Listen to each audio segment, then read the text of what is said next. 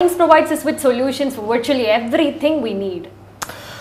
Well, yeah, science provides us uh, with a lot of things. In fact, uh, a lot of benefits for humanity, starting with treatments, medicines, vaccines pretty soon, uh, therapies, and uh, all the technology that we enjoy today. But we should also not forget that it is the same science that gave us the nuclear bomb with which we decimated Japan in the mid 1940s. It is the same science that gave us the arms and ammunitions that we used to kill nearly 100 million people in World War I and II. It is the same science that gave us the Agent Orange, because of which 2.5 million children in Vietnam are still suffering from birth deformities. It is the same science that gave us the nerve gas with which we poison and kill people. It is the same science that gave us the chemicals and syrups and preservatives that we use on a regular basis that could cause us heart diseases and cancer and all the gases that pollute the environment.